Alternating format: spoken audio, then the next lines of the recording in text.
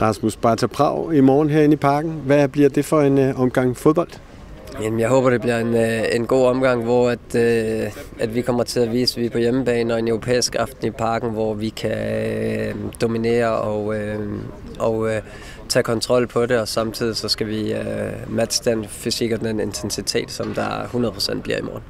Med alle respekt for de modstandere og jeres fremragende spil, jeg har mødt i den her sæson, så glæder jeg mig personligt til at se matchet mod et, et lidt bedre hold. Øh, hvad, hvordan har du det med det?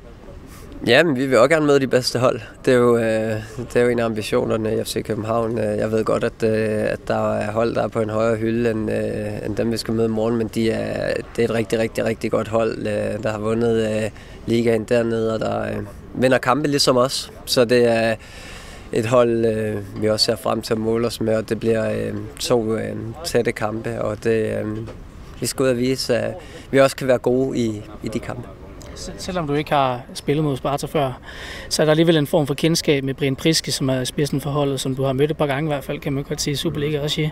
Hvad er det for et mandskab, der, der så venter der? Jamen nu har vi jo set, uh, vi har set lidt på det, uh, og set nogle, uh, nogle billeder af dem, og uh, det ligner et hold, der er fysisk stærkt, spiller med stor intensitet og, øh, og vil fremad i verden. Så, øh, så det, er, det er noget, vi skal ind og matche, og så håber jeg, at vi kan få øh, lagt det over på vores præmisser og også vise, øh, fod, fodboldhold vi er. Rasmus FC København har spillet europæisk øh, langt de fleste sæsoner, de sidste 15-16 sæsoner eller sådan noget. Det er sådan set det, det hele handler om. Vinde ligaen, komme så godt afsted europæisk og komme i den højeste turnering. Hvad er det, der er så fedt ved at spille øh, de europæiske kampe og øh, optima, ultimativt øh, Champions League? Ja, men det, det giver jo noget ekstra. Altså det giver... Øh, det, der er ingen tvivl om, vi vil gerne måle os øh, med de bedste, og, øh, og det, er, det er svært i Danmark at, øh, at komme til, og vi går altid efter det ypperste her i, i København, så, øh, så Champions League, det er, når vi har muligheden, og altid øh, målet og altid ambitionen, og det vi jagter, og øh, nogle gange lykkes det, nogle gange lykkes det ikke, men vi vil i hvert fald gøre alt for, at det lykkes, og vi har givet os selv muligheden for at, øh, at skabe de her euforiske aftener i, øh, i København, øh, som, øh, som alle, der har øh, været en del af, ved, hvor, hvor specielle det kan være. Og så, så vil jeg også sige, at over, over tid, øh, der er det, det er ikke mange kampe, vi taber i, i parken.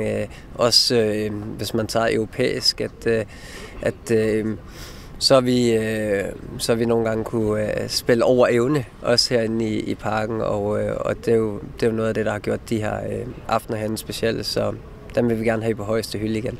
Jeg ved, I hader at tænke på fremtiden nu, hvor det er, at man har målet ret mod i morgen.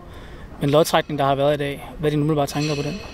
Ja, men jeg har, øh, jeg har, hørt, øh, jeg har hørt om den, men helt ærligt, så, øh, så vil jeg ikke rigtig kommentere på det, fordi at, at det er så øh, vigtig en kamp, øh, det er i morgen, og det er så vigtigt, at, øh, at vi ikke er videre på noget som helst. Øh, og det er jeg bestemt ikke, øh, fordi at, øh, det, bliver, øh, det bliver to meget, meget tætte kampe og en god modstander, vi skal møde i morgen.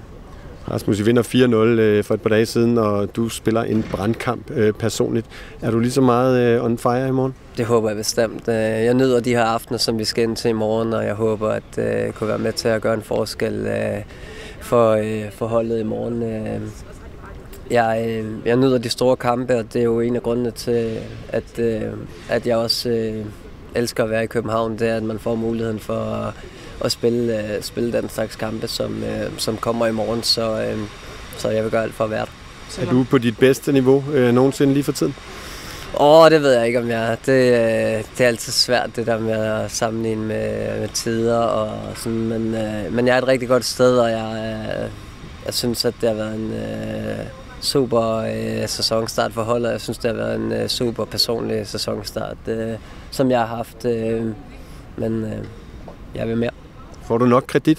Jeg sagde i en af vores udsendelser, at vi, er, vi tager dig næsten lidt for givet, fordi du leverer det der afsindigt høje niveau øh, rigtig, rigtig tit. Ja, men det er jeg ligeglad med. Så det, så det, ændrer, ikke, øh, det ændrer ikke så meget. Øh, det ændrer ikke så meget for mig. Jeg ved godt, øh, hvad jeg, øh, hvad jeg kan og hvad jeg ikke kan, og øh, alle, der er dernede, de, øh, de ved også godt, øh, de ved det samme, og, og dem, øh, de bygger mig i hvert fald, og det, det, er, det er rigeligt for mig. Selvom det er en tjekkisk modstander i møde i morgen, så er der jo også, som jeg sagde tidligere med Brian som dansk isle, så er der også nogle af de andre. Der er Asger, der er Peter, og så er der Kasper, som ikke er med.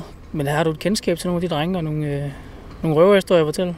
Nej, jeg kender ikke... øh, Jeg kender... øh, Jeg har spillet en del mod, øh, mod Kasper jo, der har været i, i Superligaen i, i nogle år, og øh, øh, det er det. Jeg kender ikke, jeg kender ikke I de har haft andre. noget kontakt i forhold til kampene nu her, med nogle, men lige kunne give nogle hemmeligheder eller et eller andet mod det andet hold. Jeg har desværre ikke øh, fået noget derfra. Det, øh, det, så, så godt kender vi ikke hinanden, og så, så tror jeg heller ikke, at... Øh, så interesseret tror jeg heller ikke, han er i at dele gaver ud. Tak. Selv tak. Hej. Ved du, hvem der havde de højeste odds på FCK i sidste måned? Det var igen Unibet.